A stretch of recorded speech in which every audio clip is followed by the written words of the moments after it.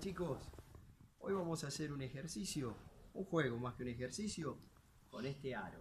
Si no tengo un aro, puedo hacer un dibujo de un círculo o un rectángulo en el piso.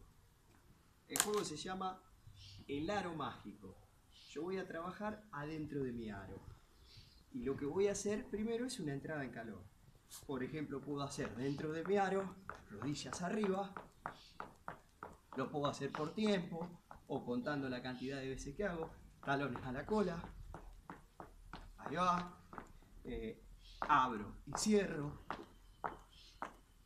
Bien. Eh, adelante, al medio, atrás, al medio, adelante, atrás.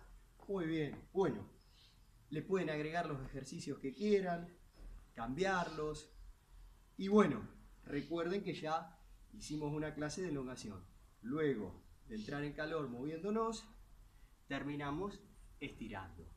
Y bueno, para finalizar, vamos a hacer un juego para divertirnos que se hace con una toalla. Pregunten siempre si pueden utilizar estos elementos. Acá tengo un ayudante. Vamos a jugar a atrapar con la toalla el elemento. Para divertirnos y para jugar un rato y movernos.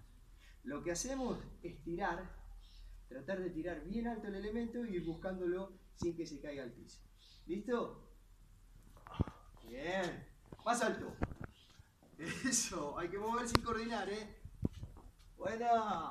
Bien, uno más. Ahora probamos con esto. Acá tenemos una pelota más grande, a ver si sale con esta. Bien. Y vamos a tratar de terminar tirándolo desde cierta distancia adentro de la cama elástica. Así que hacemos dos pases. Uno. Bien. Dos. Ahí viene. A ver si lo enfocamos de acá a la cama elástica. Uno. Dos. Bien. Bueno, espero que lo practiquen, practiquen y que se diviertan.